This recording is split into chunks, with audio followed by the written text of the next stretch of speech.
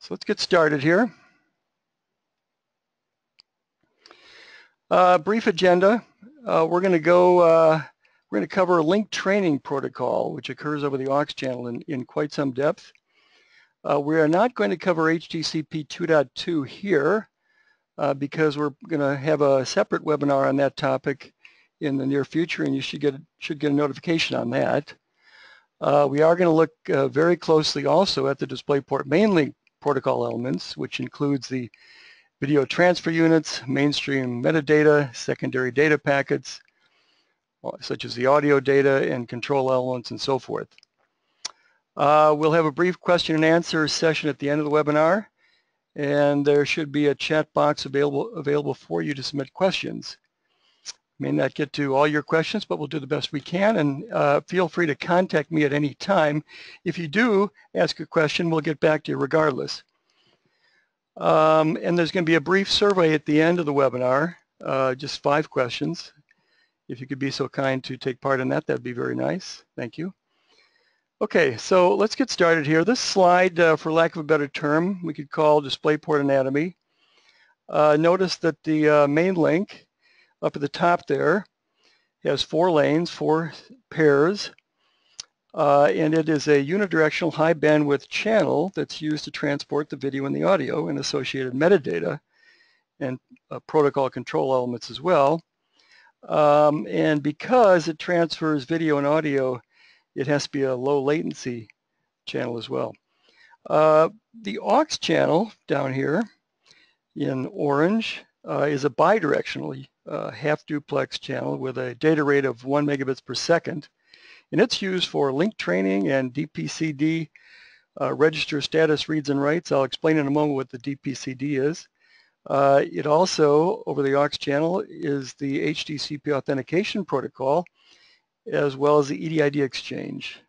Uh, when we say bidirectional half duplex, what we mean is that uh, only one device, either the source or the sink, is transmitting at any given time. Uh, the main link, getting back to that, um, is a can be configured in either one, two, or four lane configurations. Uh, they all have the same link rate, and there are four link rates. There is uh, the reduced bit rate 1.62 gigabits per second, high bit rate 2.7, uh, 5.4 is a high bit rate 2, and 8.1 is the high bit rate 3, and we're going to spend a lot of time talking about 8.1 gigabits per second link rate in this webinar. And that was introduced in 1.3, DisplayPort 1.3. Uh, unlike HDMI, there's no separate clock channel. The sink recovers the uh, data uh, using um, the, the transitions, link transitions. We'll talk a little bit about that more in detail. Uh, the there is also a interrupt or a uh, hot plug link here, and that does two things. It is uh, hot plug is a connection detection detection mechanism. It's a way the source knows that a sink is connected to it. Something's connected to it. And the the hot plug also has an interrupt function in the event that there's a, a link failure or in any case where the sink uh, wants to inform the source that there's a problem and needs to read some registers uh, but probably the most important case is where you have a link failure, and we'll we'll discuss that. Uh, at which point at which point the sink will initiate a, a relink train. Okay, so uh, we're now going to go through the DisplayPort source sink connection sequence. And here is a little ladder diagram here. You have the source over here, the sink over here, and here's the events down here. These arrows indicate the direction. So the uh, connection sequence uh, starts uh, with a hot plug, steady state voltage from the uh, sink to the source, and the source in response to that reads the EDID of the display. And the EDID has the video and audio capabilities of the, of the display or whatever is connected to it. Uh, following that, uh, the source, the transmitter, reads the DPCD registers, and DPCD stands for DisplayPort Configuration Data. uh, and it's used to carry out link training. The DPCD describes the links, the sink's link capabilities and has a set of link status registers that the source reads to learn the status of the link. There are also a set of registers of write registers for the source to configure the link during link training. Uh, link training has two phases, clock recovery and channel equalization, which also involves or includes symbol lock and interlane alignment. If the content is protected, uh, flagged as protect, needing protection, then the HDCP authentication protocol is pressed into service to verify the sink. Okay, so let's uh, take a look at the DisplayPort aux channel and how link training can be monitored. Uh, here is a case where we have a piece of test equipment. In this case, it's uh, it's Teledyne LeCroy's Quantum Data 980 uh, test platform with a DisplayPort 1.4 module in it. And here we're emulating a source to test a display. So in this case, we're monitoring the aux channel of the, of the DisplayPort transmitter here. Alternatively, you can turn the uh, turn it around and you can uh, we can emulate a sink DisplayPort receiver and monitor the aux channel as at the receive port when testing a source. And then we can also, you can also monitor the aux channel passively by bridging on and looking at the aux channel transactions uh, between a source and a display. Okay, so um, the uh, our, our utility, this aux channel analyzer, is a good utility for learning about the aux channel. And so I'm going to briefly go through the panels here so you can follow the, the discussion. Uh, the transaction log panel is just a, uh, a time uh, table of the transactions that have occurred on the aux channel. And they're assigned precise timestamps as you can see here. The port number is indicated here. The type of transaction is shown over here. And the, um, the notice that the types of transactions are color coded. For example, this pink is uh, an HDCP transaction. Uh, the blue are specifically link training transactions, and the green are, are DPCD reads and writes that are not part of link training. Over here, you have the decoded. If you highlight any particular record, you get the decoded view of that transaction in human readable text. Uh, the directional arrows here, right facing arrow indicates the direction of transmission. No audio? Kidding me.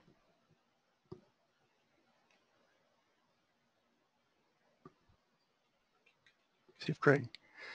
Um, and the left facing arrows uh, indicate a a read message.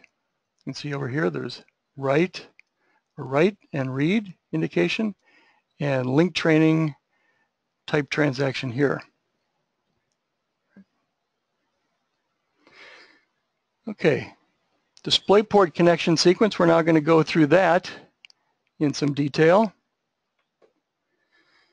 So here again we have a ladder diagram. The source functions are over here and the sink functions are over here. The transactions are in the middle. So you have a DisplayPort source, DisplayPort sink. And so the first thing that happens is this hot plug. And then the EDID is read by the, uh, uh, the source. And that here's an example of uh, an EDID decode here of the VESA block of the EDID. And uh, you can see that so again, any any uh, transaction that we highlight is shown here.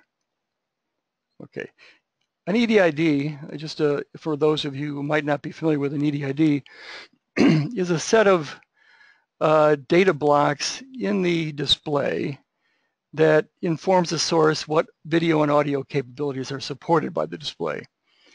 Video capabilities are such things as resolutions supported, frame rates, colorimetry, color space, sampling modes, uh, chroma subsampling, high dynamic range support, etc. Audio capabilities include audio formats such as compressed formats like Dolby DTS or uncompressed LPCM and uh, the sampling rates supported and bit depths and so forth.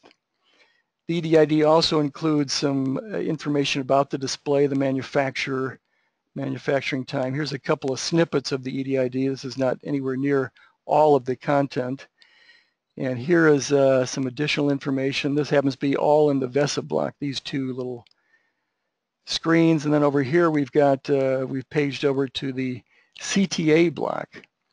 So there's a VESA block, block zero, and a CTA, or C, formerly known as the CEA block, block one.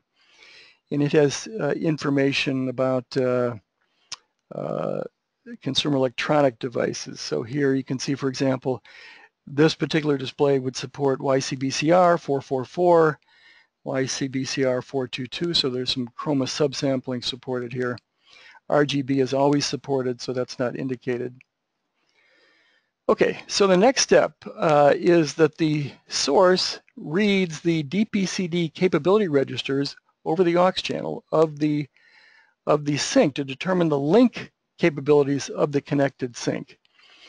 And in this case, you can see that this sink that we're connected to uh, operates at link rates up to 8.1 gigabits per second per lane.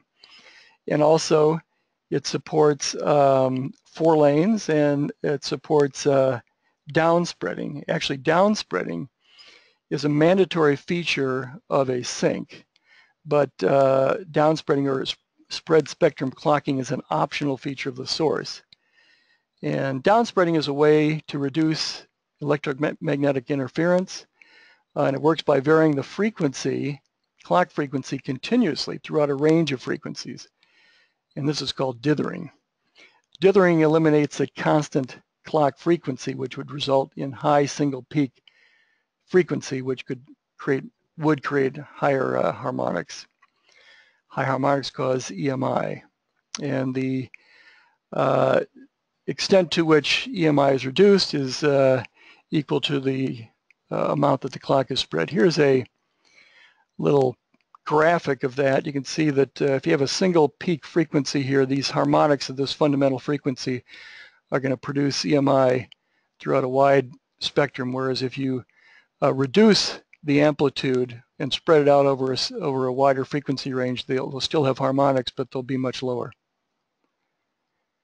And so that, um, let's continue on here.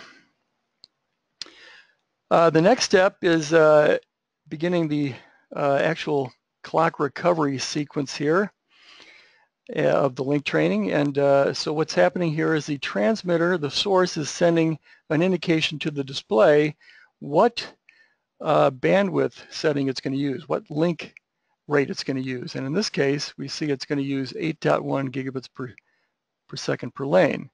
See that right indication right there. And also, it's going to write and indicate to the display that it's going to use four lanes. You see that there? And that's, that's this transaction here. It's a write transaction, the right facing arrow. Uh, and that it's, uh, the next thing it's going to do is in, indicate that it's not going to use downspreading. See that there? Downspread control. It's just writing to DPCD registers at this point. And the next step is that it's going to indicate uh, the source is going to begin sending a particular test pattern, test pattern training pattern 1. And that's being indicated to the source as well right here. See that?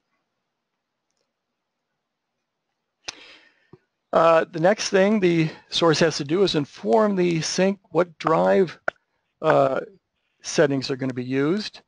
And in this case, there are the voltage swing and the pre-emphasis setting is uh, has to be defined. And we see that uh, it's zero. In other words, the, it's the lowest level of voltage swing, which is 400 millivolts. And there's not going to be any pre-emphasis used and on any of the lanes, of course. Uh, you got lane zero, lane one, lane two, lane three. All of them are the same. Now the there's a required amount of time that the source has to wait before reading to determine whether or not clock recovery has been successfully completed, and that is 100 millisecond microseconds. And so that's what uh, this is here. And notice I've zeroed out this record at uh, zero time. Uh, I've redefined the time base as zero here. When we when it wrote the training pattern set one, and so you can easily tell how long it's been, how much time has elapsed before the, the source has read the status to determine whether or not uh, clock recovery has been completed successfully. And this next slide shows that uh, it has in fact been completed successfully on all lanes. So you see that read transaction and the acknowledgement here. Uh, the next the next phase of link training is channel equalization, which also includes symbol lock and interlane alignment. Uh, in this case, uh, it's going to use training pattern four, uh, four which is new uh, for 8.1 gigabit link rates. In fact, it's required when uh, link training is being conducted at 8.1 gigabits per second link rate. Uh, channel equalization is a function provided in the sink. Uh, equalization provides a high-pass filter function to compensate for a DisplayPort cable uh, and like all cables exhibits the characteristics of a low-pass filter. So channel equalization uh, removes uh, the inter-symbol interference that can occur, the results from the physical impairments of the channel.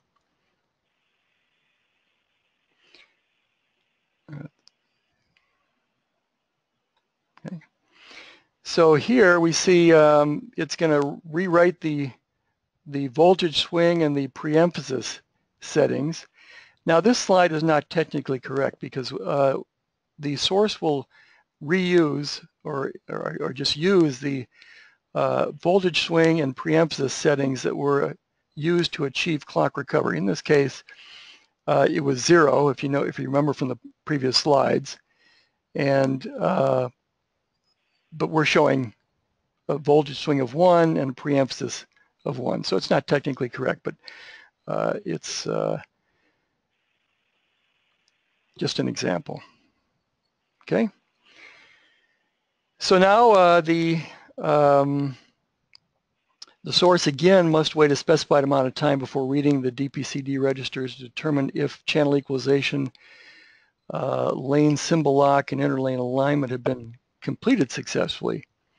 If they have been completed, then link training is in fact completed. In this example, we see that on all four lanes, 0, 1, 2, and 3, uh, uh, clock recovery, of course, channel equalization, symbol lock are completed, and the interlane, interlane alignment is completed as well. You see that there. Okay. So uh, there are some irregular, irregular cases that come up, and this is a screenshot taken from an, ex an example where uh, testing a device uh, that could not achieve symbol lock, but uh, did achieve clock recovery and channel equalization here, and interlane alignment. Other cases, you might see one lane that is uh, does not successfully achieve symbol lock or, or channel equalization. And in that case, the, what the source is going to try to do is bump up the drive voltages or add preemphasis. And it, they, it may also try to reduce the link rate if possible and use more lanes if it was using, let's say, two lanes. Um, if you have a bad lane, it would be an option if you have one bad lane, as long as it's lane two or three, or actually three or four, um, you could potentially, uh, a source might train trying to use two lanes at a higher link rate. I mentioned preemphasis. Preemphasis is a, is a way Um, I didn't go into any detail on that. Let me just uh, talk a little bit about that at the uh, right now. Preemphasis just uh, bumps up the front end of the rising or falling pulse uh, to give the sinks equalization circuit a better chance of recovering the uh, the data and um, overcoming the problem of inter-symbol interference. Okay, so here you see a closer up view of this uh, symbol lock not being done successfully. Uh, and in that case, the uh, what happens is the sink will determine that an adjustment of the voltage swing and or preemphasis is required and indicate that to the source by setting a value in its adjust request DPCD register. You see down here, let me get closer up, the adjust request uh, indication here. The source is reading that uh, and then there's an acknowledgement here. And so the display or sink is telling the source, try the voltage swing of 2, which would be 800 millivolts, and a preemphasis level of 1, 3.5 dB. And that would be used on all the channels. Presumably, after that was done, then uh, um, clock recovery and channel equalization would be completed. But here's a, here is the result. The uh, transmitter then does in fact use these values and recommences uh, link training. That's what's going on right here. Okay, so once link training is a, is a achieved, completed, uh, the link goes into link maintenance mode. And in, you know, if you have a short cable and you're not operating at the higher link rates, there's uh, you typically would not have a problem during link training. Of course, with the higher link rates of 8.1 gigabits per second, one could, uh, it would be fair to anticipate that there would be higher incidences of link training failures. The longer the cable, the more failures. Uh, so once, um, I should point out that link training is not a guarantee that there won't be problems on the link. It's a best effort made to establish the drive voltages and the number of lanes and everything else. But it's not a guarantee. Uh, if there is a problem, there's an interrupt generated by the this hot plug mechanism, which is also uh, repurposed as a interrupt request. And that will cause, that will inform the source that um, there's a need to uh, retrain for example, if there is a loss of clock lock or loss of symbol lock or loss of interlane alignment, the interrupt, uh, the IRQ interrupt will be generated using this hot plug lead. Okay, so here's an example of that. Link training, you can see I've highlighted this. Link training was done successfully, but then something happened in the link maintenance mode, and you see this hot plug pulse, and then this is all uh, going to be the um, reinitiation of link training. Let's see a close-up of that. Okay, I did mention at the outset we're not going to cover HDCP in any, any sort of depth. I'll just give you a sort of hint of uh, an upcoming webinar we're going to hold on HDCP 2.2 authentication. Uh, you're going to have, uh, you know, we're going to go through all the transactions in the authentication of HDCP 2.2 the key exchanges, pairing, locality check, session key exchange, and so forth. And we'll also talk about um, HDCP 2.2 compliance testing as well. Okay, so now we're going to get into the DisplayPort uh, main link protocol where the audio and video streams uh, traverse.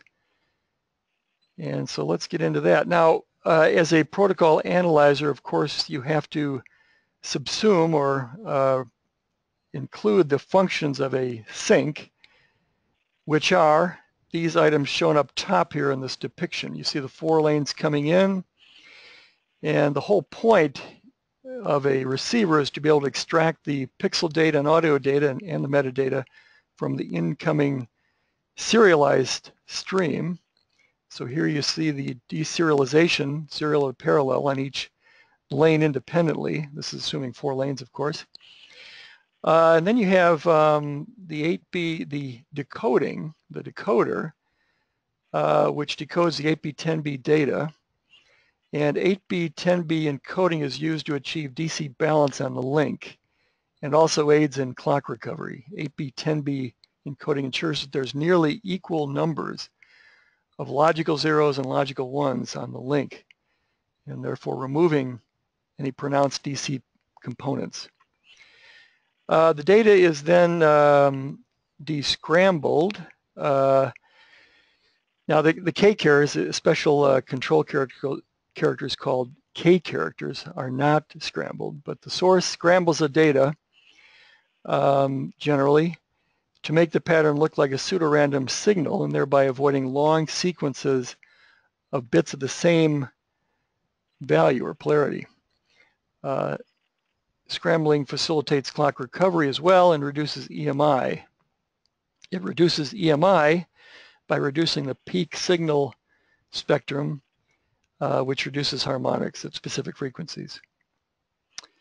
Uh, note that uh, during clock recovery, uh, scrambling is disabled except when using training pattern 4 for 8.1 gigabits per second. Okay, so after data is descrambled, it's deskewed to remove the two link symbol clock skew that's added to the stream by the source. Skewing reduces susceptibility to EMI pulses by making it less likely that a spurious pulse will disrupt important metadata symbols such as the MVID value, which is used to recover the pixel clock. Uh, if the lanes are skewed, then it would uh, pulse would affect only one of the lanes, for example. Uh, if the incoming stream is encrypted with HDCP, it's then decrypted. And then the mainstream uh, and secondary data uh, are demuxed and unpacked, separating and extracting the video data and audio data from the protocol and framing data. Finally, the pixel data is desteered to assemble the pixel data that had been mapped across multiple lanes if multiple lane configurations were being used. Okay, so let's take a look uh, at some of these uh, uh, protocol symbols and data. And we're going to use a little capture utility we have here. Let me introduce you to that real quick so you can kind of follow what's going on. Going on. There's three panels. This top panel, encircled in orange here, is called the event plot panel. Time goes this way, left to right. And uh, you can zoom in and out, and you can see all the elements here, like this is a fill uh, data. This is video data, blanking start, blanking fill, the video blanking ID, secondary data start, MSA, mainstream attribute data. Uh, down here is this whole panel is the data decode panel where it's just like the aux channel analyzer where you have a table with precise timestamps assigned. Time is going top to bottom.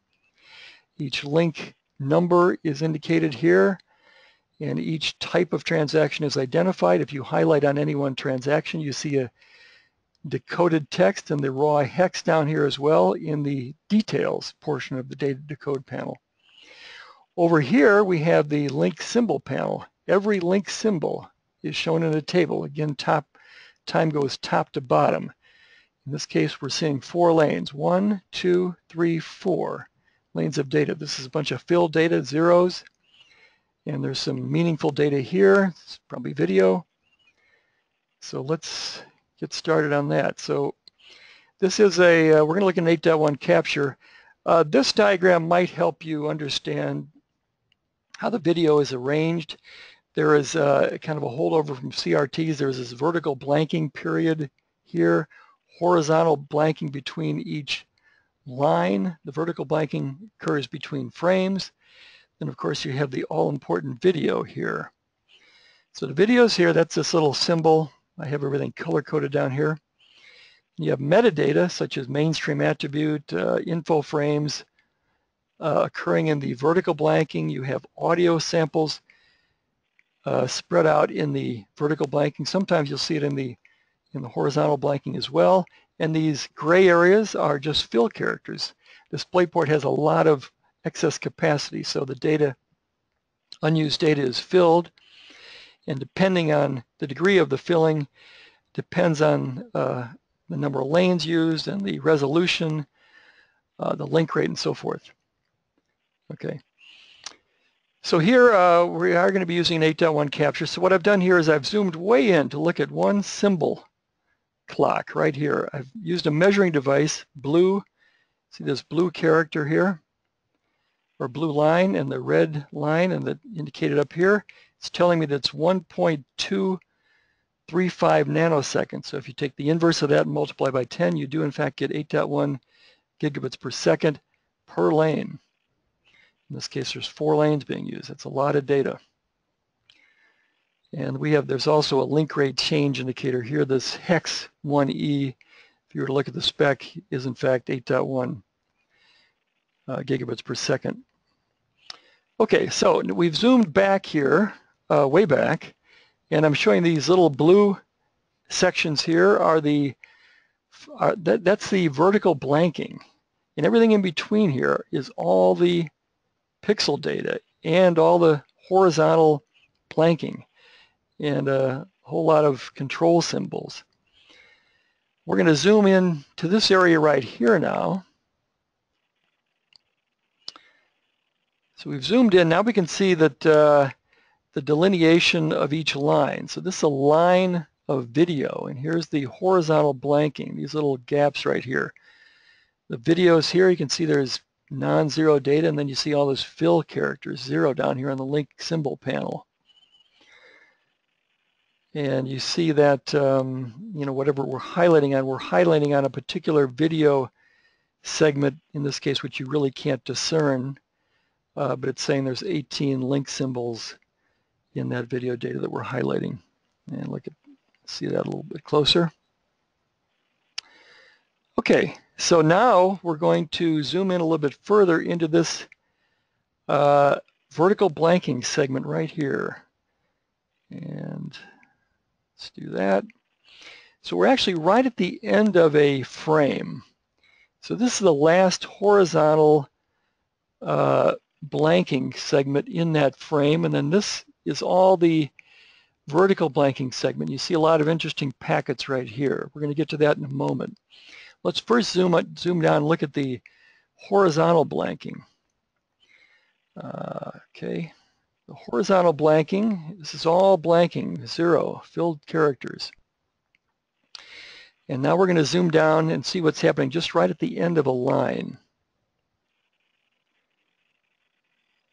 So we see that there's there's fill characters here, and then there's there's video, and this is like this would be the last pixel in the video uh, in the line. And then you have this four character sequence, blanking start, blanking fill, okay, that is always present uh, at the end of a line or a frame. And then you have this video blanking ID, a packet of information decoded here. So let's take a look at that real quick. So this is saying that uh, no, it is not a video only stream. Okay, in other words, not just purely audio. Mute is not in place. Video blank, is it vertical blanking? No. Interlace? No, and so forth. It's just information uh, about the blanking that the, the source tells the sink. And at the end of that horizontal blanking, there's also a blanking end character. I don't think we're going to take a look at that, but you can see there's something there. Okay, so now we're going to zoom down and take a look at the end of the frame the, uh, the commencement of the vertical blanking. So here now we've zoomed in, we see some interesting protocol characters here. So we're going to zoom in a little bit further right here, right here. This uh, video here is the last pixel in the frame. Okay, so now we've zoomed in a little more and we see fill characters, video, blanking start, blanking fill, blanking start again, this four character sequence, control sequence uh, to begin the blanking. And now you have a vertical blanking identifier packet as well there. In this case, you see that vertical, vertical blanking, yes, it's indicated as yes, this is vertical blanking. We'll talk about some of these other uh, values here, the MVID and the uh, MAUD in a moment. You also see a mainstream attribute packet here. We'll, uh, I think we can go to that in the next slide. Yeah, mainstream attribute data here. Notice it begins and ends with the secondary data start, secondary data end packets right here, or little control elements. And I've highlighted that mainstream attribute packet. You can see uh, the information that's provided there with it. A uh, bunch of timing information about the active and, and um, total video and uh, uh, horizontal and, and, and, vertical lines and and uh, so forth and pixels, uh, front porch, and also the uh, indication of the color depth, 10-bit deep color. The encoding is Y444, no color uh, chroma subsampling, and we're using YCBCR and the BT709 color space. Okay, so now we backed up a little bit to take a kind of a bird's eye look at this vertical blanking. Notice all these characters. These characters are just the repeated sequence of those four character sequence of blanking start, blanking end that have to occur uh, periodically. But notice there's some interesting looking spots in here where the, the cadence seems to be interrupted. And let's go take a look at that. Right, we're going to zoom right in here, see what's going on there. And uh, we do, in fact, see that there's an audio sample there. So we've highlighted that. The audio sample is surrounded by control characters, secondary data start, secondary data end. And uh, I've highlighted that audio stream packet, and you can see that it's a two-channel layout um, IEC 61937. Get a little closer so you can read that. 6.1, uh, 6.144 megabits per second bit rate. And so sample 0, sample 1, sample 2, sample 3 of channel 1 over here and channel 2 over here. And all the hex decodes down here. That's also shown, of course, in the link symbol panel. I, I, didn't, I forgot to mention all these panels are synchronized with one another. When you highlight any particular stream, whether in this uh, event plot or the data decode, they automatically sync up the three panels. Okay, so now we're going to look at, um, we're going to show a comparison between uh, two-channel LPCM at 32 kilo, uh, kilohertz sampling rate and 16-bit uh, depth, sampling depth, and we're going to compare that to 5.1 LPCM at 48 kilohertz sampling rate and 24-bit depth to show you the density of the audio packets. So here we're looking at the two channel. Notice I've zoomed out at a particular level here and the audio packets are somewhat sparse and you can see that here too.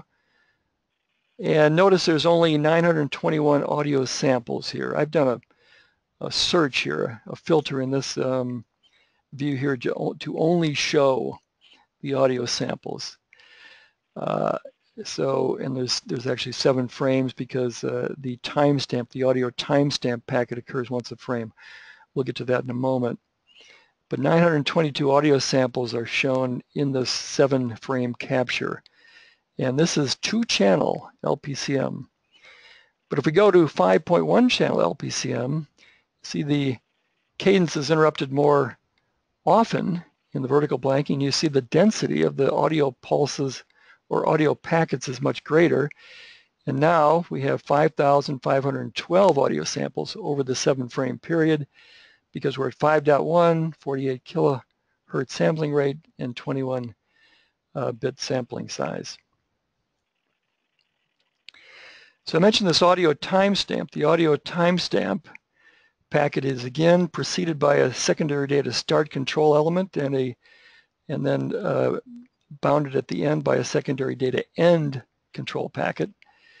And I've highlighted on that packet, you can see the information here. It's this M AUD and NAUD elements. And that is what allows the, uh, the audio rendering device, could be a display, uh, to extract the sampling uh, the, the audio sampling rate out. You can see that's highlighted here, and you see these values here. Okay, also there's finally another audio packet is the audio CTA, uh, and that's an audio info frame if you're familiar with HDMI. And again, uh, preceded by a secondary data start and uh, ends with a secondary data end. And it has a variety of information, metadata about the audio being transmitted, two channel, LPCM, 16-bit sampling size, 48 uh, kilohertz.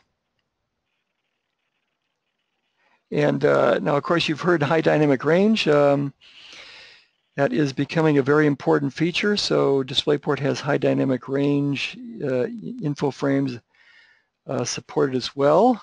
Again, secondary data start and end packets delineate or demark those uh, that info frame. And uh, here is the data that's in an HDR info frame. I'm not going to go into detail on that at the moment, uh, but suffice to say that this information enables a sink to render the video in the rich way that HDR uh, allows it to. Okay. Finally, uh, another package is a scrambling reset, scrambler reset packets, which are substituted for the blanking start characters in these four symbol sequences that occur uh, periodically. And the uh, scrambler reset is substituted every 512th such occurrence of the four character sequence. And the, in synchronous scrambling, uh, uh, there's a necessity to reset the scrambler every now and then to avoid, to avoid error propagation. There you can see that scrambler reset. Uh, we're now going to go over um, uh, pixel mapping, how the how the pixels are mapped across the the multiple lanes. And uh, this is might be a little confusing for some of you, but again, this webinar is going to be recorded, and you go back and look at it at your leisure. And of course, you can email me email me with any questions. We're going to use SMPTE-BAR in our sample here. and We're going to compare an 8-bit and 10-bit uh, mapping.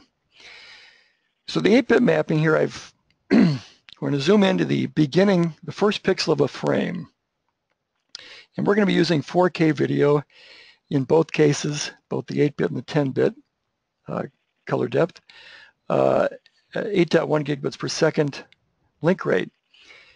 Now the first thing you notice at 8-bit, uh, uh, roughly, you know, the, the transfer unit, transfer unit's a combined fill and um, video segment here. And the transfer unit, I should have mentioned this earlier, uh, the purpose of that is to, it's a mechanism to distribute the video in a line equally. Uh, and it enforces a consistent packet framework uh, with the same amount of pixel data and fill data for each transfer unit, and that avoids bursts of data, which can be difficult for sinks to handle. But notice with 8-bit data, 8-bit depth, uh, even at 8.1 uh, gigabits per second link rate in 4K, you have almost as much fill characters as, as you have video. Of course, we're using four lanes. Uh, so here, what we're going to do is take a look at this first pixel here. So this comes right out of the spec here. We're going to look at only at lane one, the, or lane zero, and the first pixel, R0, G0, B0. All eight bits for 8-bit color depth are provided in one link symbol clock on one particular lane. So the mapping is very straightforward. You have a particular value of color B4. Now I'm showing you the, the color values here. B4, B4, B4 for the green, red, green, and blue. Well, we know that's going to be a grayscale. Uh, you can see that right here, B4, all the way as far as the eye can see down here. Uh, because we're actually looking at that first pixel in SMPTE-BAR, which is a grayscale panel.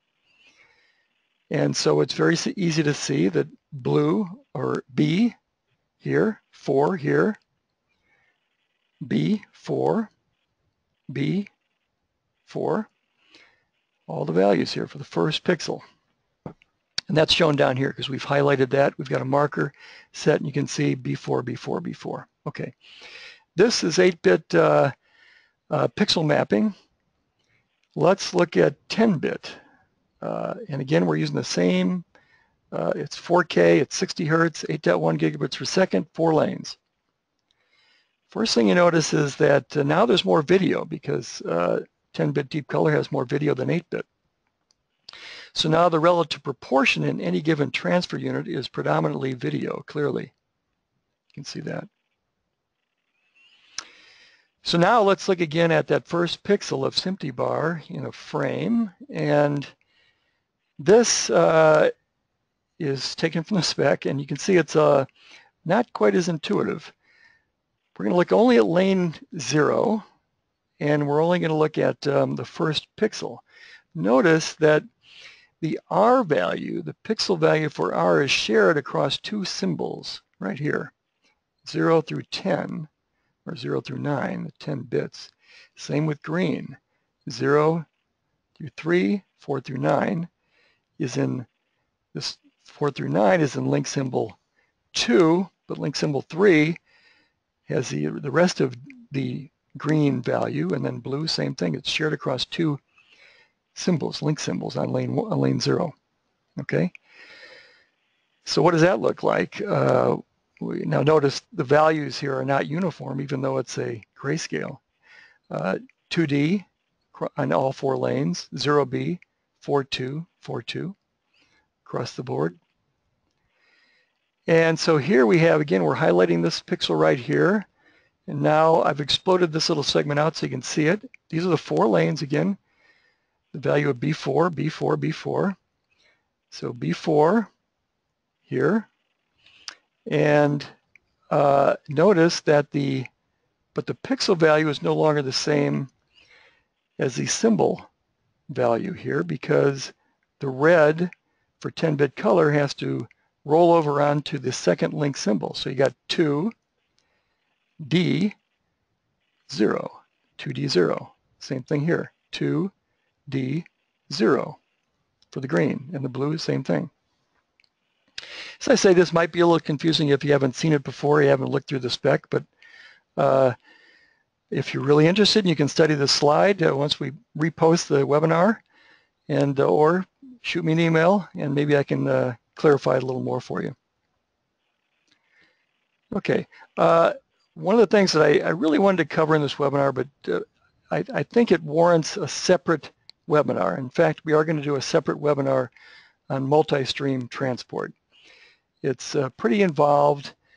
I'll give you a little hint of that. We're going to show the transactions used over the aux channel to set up the MST, uh, multi-stream transport uh, messages to set up the, uh, the topology.